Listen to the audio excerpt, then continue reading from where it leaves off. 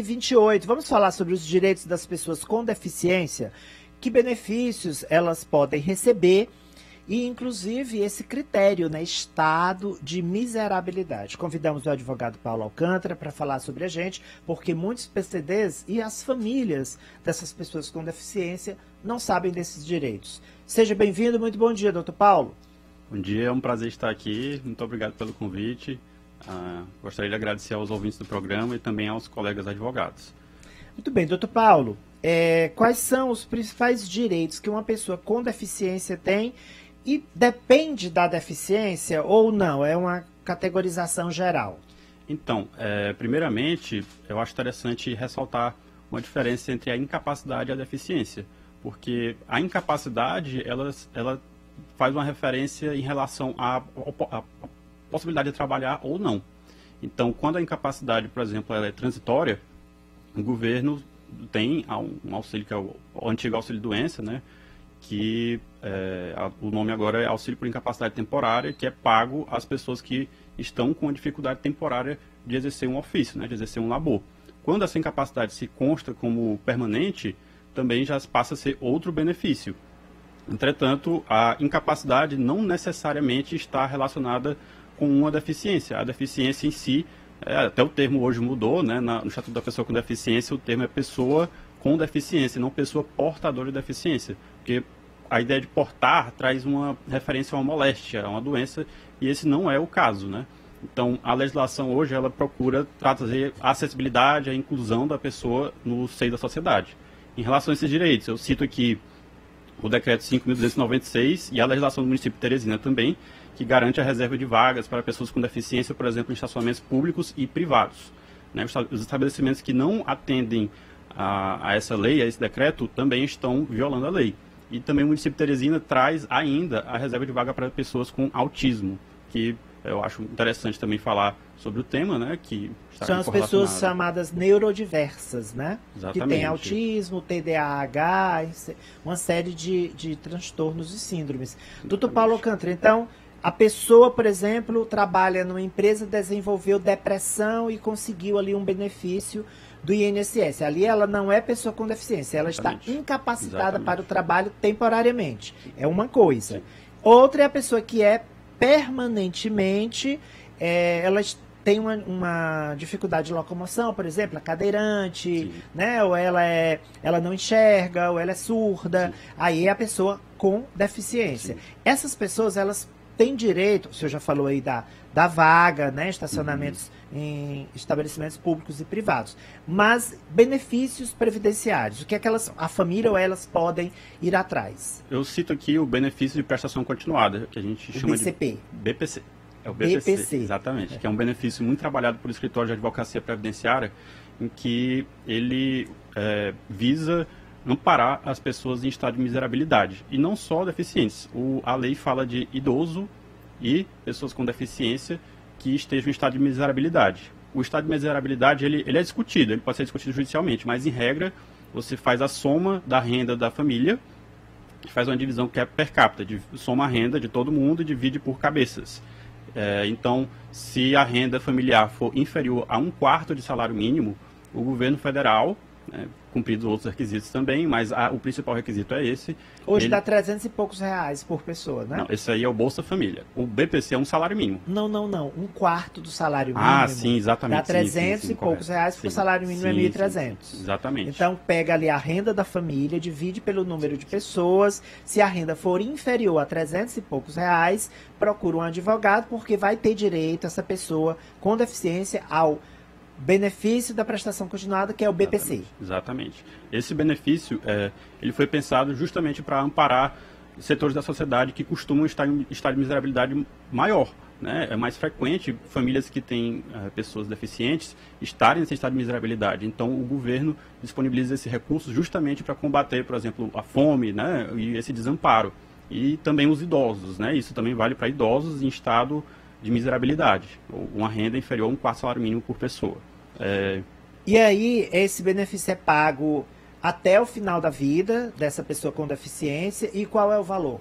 É, o valor é um salário mínimo. Atualmente, um salário mínimo, R$ 1.320 né? reais, e a cada dois anos a, é, o, O, o Tem que CAD... fazer uma prova de deficiência. Exatamente. E você é atualiza. Prova de vida também, né? E você atualiza também o, o registro no CAD único, que é referente à condição de vulnerabilidade, né? Tem uma assistência social. Ah, sim, é porque a renda da família né? pode crescer, né? Exatamente. Alguém pode um ser emprego. empregado, ganhar Exatamente. mais. Exatamente. E o BPC é para famílias que têm deficientes, uma pessoa com deficiência, mas famílias que ganham pouco. Ou seja, se tem uma família com deficiente, mas é uma família de alto, alto poder aquisitivo, Sim. não vai ter direito. Exatamente.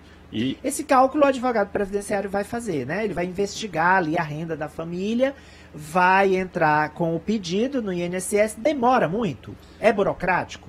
Depende muito do caso. É o que a gente chama de é, o, é o direito administrativo. Então, o direito administrativo ele pode ser muito rápido e ele pode ser muito burocrático mas ele costuma ser mais rápido do que o processo judicial.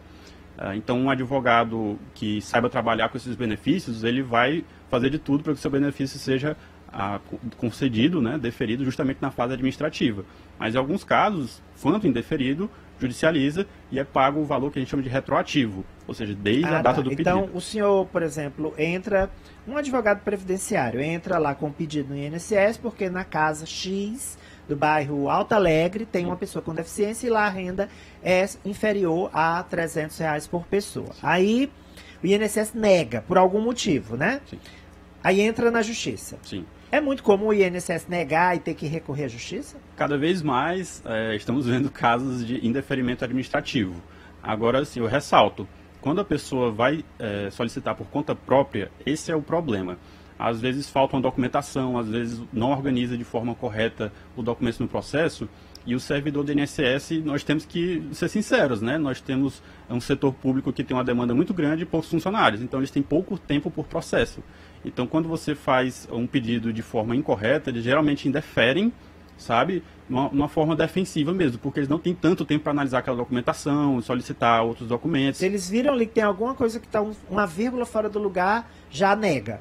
Pois é, pode negar, é cada caso, mas quando nega, é, entrando em contato com um advogado, com o escritório de advocacia, o advogado vai fazer a análise do seu pedido primeiro para conferir se está tudo certo. E, é, tendo os direitos, você faz o pedido que a gente chama do retroativo, desde a data do requerimento. Para receber o BPC, a pessoa não precisa ter é, contribuído para o INSS durante não. certo tempo, não, né? Não, não, não. Ele é o que a gente chama de. Ele é um benefício da Previdência que ele não é contributivo. Essa é uma característica de alguns benefícios da, da Previdência. Eles não são não contributivos. Não é uma aposentadoria. Ele é um benefício. Certo. Então eu nunca contribuí, mas sou uma pessoa com deficiência de uma família miserável. Eu Sim. vou receber Exatamente. o salário mínimo. Exatamente. Tá. Além desse benefício, direito a vagas em Sim. estacionamentos, o benefício da prestação continuada, é, a pessoa com deficiência, por exemplo, é, eu trabalho numa empresa privada, trabalhei 30 anos nessa empresa e sofri um acidente e me tornei cadeirante. Sim. Quero me aposentar. Tem como? Sim. Ah, nesse caso, aí vai ser o auxílio por incapacidade, como você se tornou cadeirante, permanente. E eu cito aqui é, até. É mesmo... diferente do BPC, é Sim, outra coisa. É outra coisa. Você contribuiu para a Previdência. Durante 30 anos. Exatamente. Você se acidentou e você, você é o que a gente chama de contribuinte. Você está caracterizado como sim, contribuinte. Sim. Então você vai receber outro tipo de benefício. Já é outra parte da, da Previdência Social. E eu cito até uma legislação que pouca gente tem conhecimento, que é muito recente aqui do estado do Piauí, que é a Lei 8.048 de 2023. 8.048. 2023. Deste ano já. Sim, que foi é, promulgado pelo governador Rafael e ela é de autoria do deputado Franzé Silva. Ele, se eu não me engano, é, ele é do ele é filiado ao PT do Piauí. Sim, ele é pré-candidato a prefeito de Teresina pelo PT. Exatamente. E ele é, é o autor desse projeto de lei que prevê a emissão de laudos médicos sem prazo definido para pessoas com incapacidades permanentes. Ou seja, pessoas que têm incapacidades permanentes agora no estado do Piauí, elas podem ter os laudos médicos emitidos sem um prazo, porque a cada 90 dias o INSS... Tem que renovar. Exatamente, tem que renovar. É muito burocrático. Então, Nossa, então a cada três meses a pessoa com deficiência permanente tinha que voltar ao médico, renovar o laudo, renovar o laudo. Dependendo do, do, do interesse. Por exemplo, às vezes é, ela, ela, o, o INSS às vezes pede uma atualização né, de algum documento, sendo que não faz sentido se você tem uma deficiência é considerada permanente, não tem que você ficar voltando para o médico e emitindo laudos, é muito burocrático. Então, Mas no caso da lei do deputado francês, não vale só para o servidor estadual, não, não, em relação à aposentadoria aqui? A, vale a, também para o INSS, né? É, e, e ele, ela tem previsão para o setor público e privado, ou seja, por exemplo, escolas que é, requeram algum, alguma documentação. É, é, nós vamos esperar como vai ser a aplicação da lei na prática, né? porque no direito tem muito isso. A gente vai esperar alguma jurisprudência, às vezes pode ter alguma ação a respeito do tema, mas eu sinto aqui uma legislação muito importante. O Piauí foi pioneiro. Nós temos um projeto de lei tramitando no Congresso a respeito do tema, mas... Aqui a gente já se adiantou, né? Exatamente. Então tá aí, você que é, trabalhava numa empresa privada, ficou com invalidez por tempo indeterminado, você procure né, os seus direitos, procure um advogado para entrar aí com o pedido de aposentadoria.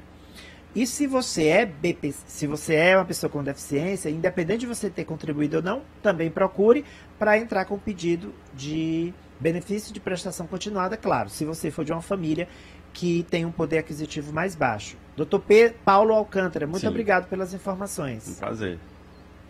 Maravilha, depois de conversar aqui trazer informação para você, a gente vai ouvir agora o delegado Matheus Anato. Um abraço para o delegado Matheus Anato, um dos policiais